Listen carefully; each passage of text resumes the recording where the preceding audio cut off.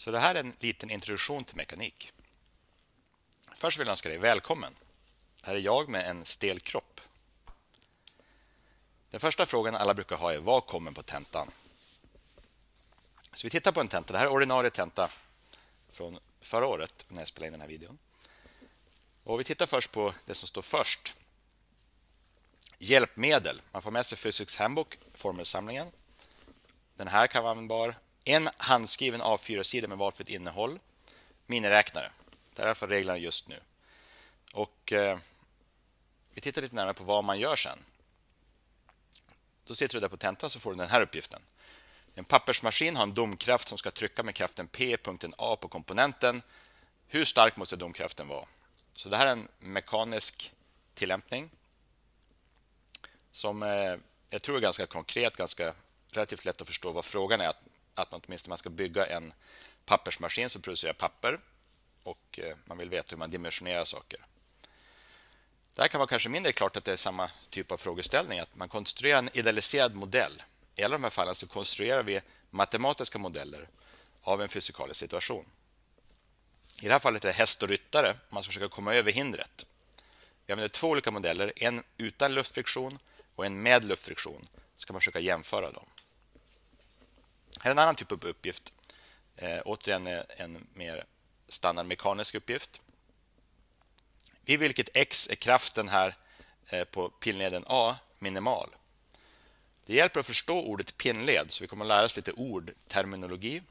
Eh, det är inte så många ord att lära sig, men det är en del ord på en sån här kurs. Vi har också modeller för saker som rör sig i medium, till exempel i vatten. En matematisk modell är i allmänhet en samling ekvationer som beskriver ett skeende. Det man ofta har svårt med för man kommer från gymnasiet är att man kan ha olika bra modeller för samma skeende. Så det är inte sant på den här kursen att ett, ett skeende, någonting som rör sig till exempel, har en ekvation. Vad är den här formen? Vad ska jag hitta för formel för det här skeendet? Det finns inte alltid bara en formel, det kan finnas flera som är olika bra. Här är en annan fråga. När, man, när en hiss accelererar uppåt, Eh, på, blir det någon påfrestning på golvet att det står tunga saker i hissen? En del är oklara på om det är en, om det är en effekt som går att mäta eller inte. Och den här uppgiften så utforskar man det. Men det kan vara överförd betydelse också. Men jämfört med ekonomiskt problem, som vi tar trissor som hänger upp med såna rep och hänger en vikt här, så är det här ett så kallat tvångsystem, ett system med tvång.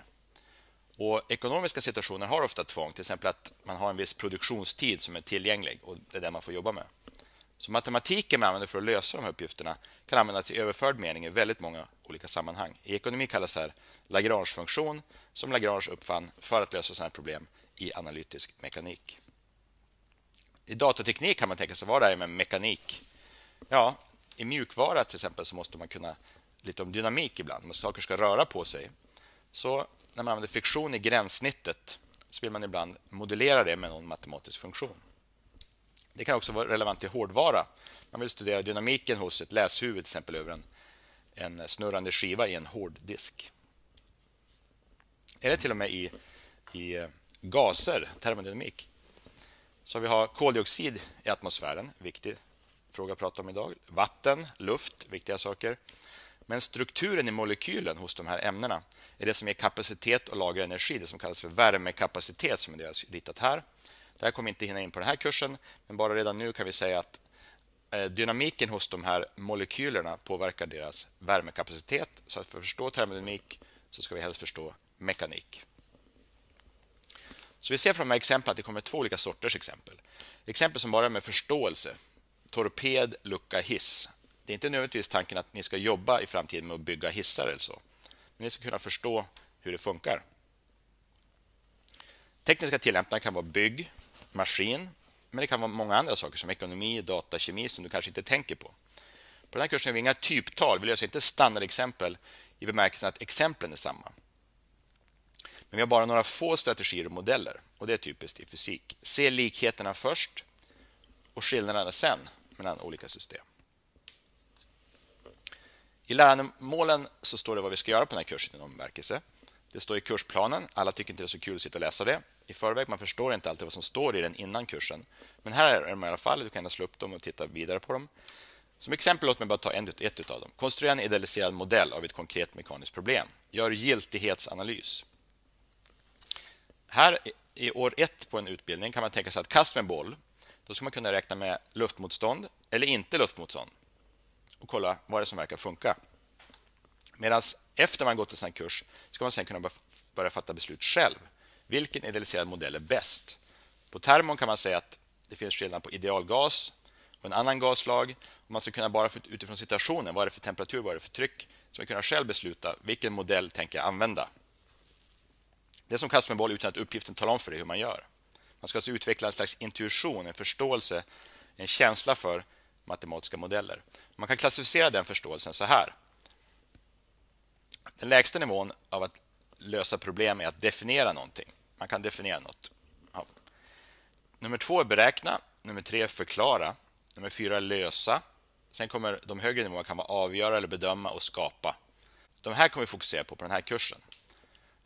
Det här är vad de betyder i mer detalj, men låt mig inte gå in på det nu. Utan ni är intresserade kan pausa och läsa det. Utan vi kommer fokusera på att kanske försöka komma upp till att vi löser en uppgift utan att bara beräkna typtal så ska vi kunna förklara vad det är som händer. Vi ska kunna lösa i någon mer djup bemärkelse än att bara räkna typtal. Studieteknik. Studera medvetet på en sån här kurs. Och vara klar med en hemuppgift betyder inte bara att du kollar till lösningsmanualen. Sträva efter aktivt lärande. Du ska göra någonting. Heltidsstudier är åtta timmar om dagen. En del studenter behöver lite mer tid. Vi använder lärstrategier som omvänd undervisning, att vi får föreläsning som nu. Du kan göra det hemma om du vill. Du behöver mindre hjälp. Och sen när du övar med uppgifterna, det är hemuppgifterna som är centralt på den här kursen. Då ska du ha hjälp, antingen av kamrat eller av oss. Och Det här kamratlärandet är väldigt viktigt. Att kamraterna kanske har snappat upp olika saker än du. Så jobba ihop när ni gör uppgifterna. Men kom ändå ihåg att ni kommer sitta ensamma på tentan. Så en typisk dag kan vara att man förbereder sig innan föreläsningen som börjar klockan 10. Så har vi räkneövning efter det. Sen kan vi ha studiestödning efter det kanske. Medan de som är morgontrötta kanske vill ta den här videon kvällen innan. Så där kan vara en möjlighet att man tar videon på kvällen och börjar föreläsningen på morgonen klockan 10 och får lite sovmorgon. Vi har inte tid med historia på den här kursen, men bara för en liten känsla så var det 1600-tal som modern mekanik började med Galileo och Newton. Så Newton var sent 1600-tal. Och sen på 1700 och 1800-talet så kom det en ny form av mekanik som i någon bemärkelse är mer effektiv. Men det är lite svårare att förstå. Man behöver bland annat flervariabelanalyser, är väldigt viktigt i den. Och Lagrange och Hamilton var två av eh, pionjärerna där. Och Det går vi igenom på kursen Analytisk mekanik som många av er inte ska läsa sen tyvärr. Newtons lagar 1687. Det här är Princip i hans bok. Och idag så ska vi skriva dem så här. Och Vi kommer upprepa det här om och om igen i kursen. Det är få kurser som man kan vara så konkret och säga att det är de här tre lagarna som ni ska förstå, som ni ska kunna lösa och tillämpa. Här på introduktionen pratar jag mest om motivering. Vad är motivering? Varför gör vi det här? Ja, för Newton var det grundforskning. Förstå världen, till exempel kometer. Kometer räknas som väldigt viktiga eh, förr i tiden. Man ville förstå hur de funkade, bland annat för att de trodde att de sa någonting om, om framtiden eller om, om gudarnas syn på vad som försiggick på jorden. Till exempel när Halles komet för förbi 1066 så kom den med på den här gobelängen. Eh, och man tyckte förstås att det var väldigt viktigt att det kom en stor komet på himlen. Men då kunde då Newton förklara det i princip att han räknar ut parabeln som beskriver den här kometens rörelse. Och det var ett stort framsteg i vetenskapen. Man kan förutsäga saker som, som sen verkligen händer på världshimlen. Men oavsett hur intresserad du är av kometer så behöver inte du ha den motiveringen. Det finns många tillämpningar. Uppenbarligen att bygga saker. Maskiner, motorer, hus, robotar, raketer, olika typer av kontroll och reglerteknik. Men jag vill poängtera att de är jätteviktiga saker. Vi kommer gå in på det. Det kommer handla mycket om det på kursen. Men mekanik är mer allmänt än någon av de här enstaka sakerna. Robotteknik. Det här är Jorge här i Karlstad som bygger en Human Friendly Walking Assistive Robot Vehicle eh, med hjälp av då kontroll och reglerteknik som bygger på mekanik, vår dynamik. Jag vill också slå ett slag för det här med modellering, en matematisk modell. Det är en eller flera ekvationer som beskriver något som händer. Till exempel en svängningsekvation som den här ekvationen här. Det är en matematisk modell för en fysikalisk pendelrörelse. En modell kan ha så många ekvationer att man måste ha en dator för att hantera dem. Det är simulering. Men det viktiga är att en matematisk modell som är gjort för ett visst sammanhang, till exempel pendelrörelse, kan vara till nytta i många andra sammanhang. Här är ett konkret exempel på modellering teknik. Om du har en riktig borr så kanske man inte vill bygga en ny borr varje gång man ska testa en, en prototyp. Man kanske vill göra en modell. Så man bygger så att säga, rent abstrakt, man bygger modellen i ett program och räknar man ut påfrestningar i den här modellerade borren, hur det skulle vara i en riktig borr. Och då kan man testa det och försöka optimera. Och den här, just den här gjordes av Jonas Björnsson på Kammartech som har läst här i Karlstad. Kanske mer överraskande fysik i datorspel. Datorspelsexperter pratar mycket om fysik. Det är en kompis med Jakob som jobbar på Coldwood Interactive. Och De har gjort ett spel som heter Unravel som ska komma ut eh, strax efter den här videon spelas in. Och Det är väldigt mycket fysik, så du måste kunna räkna ut hur den här figuren svänger i den här tråden när man gör det här datorspelet. Men det är verkligen direkt tillämpning inom bemärkelse av det vi kallar mekanik. Själv håller jag på med grundforskning om kosmologi och partikelfysik till exempel. Och då pratar man om mörk materia. Så om du slår upp Bullet Cluster på Wikipedia så får du det här bilden. Och det mörka blå här är alltså den mörka materien i, det här, i den här galaxhopen som är 3 miljarder ljusår bort. De blå klumparna är uträknade från gravitationslag, alltså från mekanik. Annan typ av grundforskning är på CERN i Schweiz. Ungefär 5 000 personer jobbar med den här 27 kilometers tunneln där man accelererar protoner som far runt här 10 000 gånger per sekund. Den nere i tunneln ser ut så här, 100 meter under marken. Det som sitter här runt är det som hjälper till att styra och accelerera. Och det är en ögonblicklig cirkelrörelse i den här, i den här tunneln. Så det här är en, en slags avancerad tillämpning av mekanik, hur man får de här protonerna in i det här röret att gå åt rätt håll. Vem bryr sig om partikelacceleratorer? Ja, till exempel i cancerbehandling idag använder man i strålterapi det vi skulle kalla en partikelaccelerator. Man skjuter partiklar in i patienter. Och Det finns ett helt yrke som heter sjukhusfysiker där det här är väldigt, väldigt eh, relevant förstås. Kanske ännu mer överraskande att man använder fysik i ekonomi. Som Jim Simons gjorde många viktiga framsteg i teoretisk fysik. Han grundade ett av de mest framgångsrika fondföretagen på Manhattan. Det brukar kallas världens smartaste miljardär av Forbes Magazine. Det han gör då, eller kanske inte exakt det han gör, men det man utgår ifrån här är att modeller för luftmolekyler i termodynamik till exempel, de beskrivs av elastiska stötar mellan partiklar. Och det är så många partiklar att det blir väldigt komplicerat att beskriva dem som använder statistiska metoder. Så det kan vara läget i Y-led till exempel hos en partikel över tid.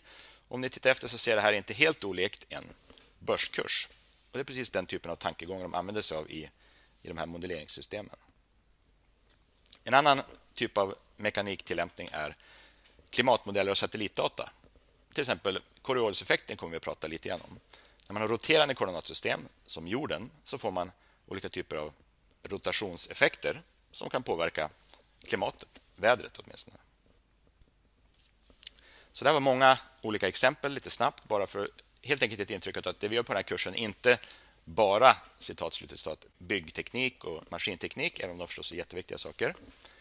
Så kanske just du är intresserad av någonting annat med mekanik, så försök hitta det som du är intresserad av med mekanik och låt det vara din egen motivering. Så tack.